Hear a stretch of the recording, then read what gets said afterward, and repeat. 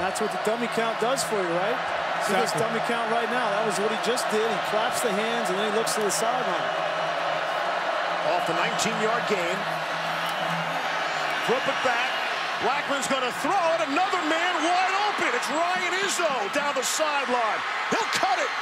Ryan Izzo won't be caught from behind. Touchdown. It's a 60-yard score for the Seminoles.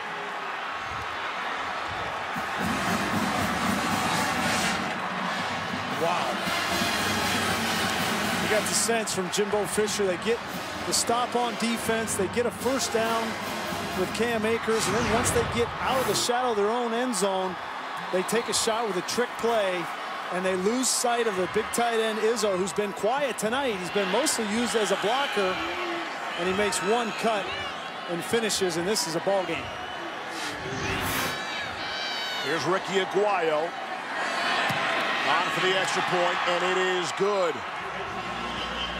First catch today for Ryan Izzo, and it's big.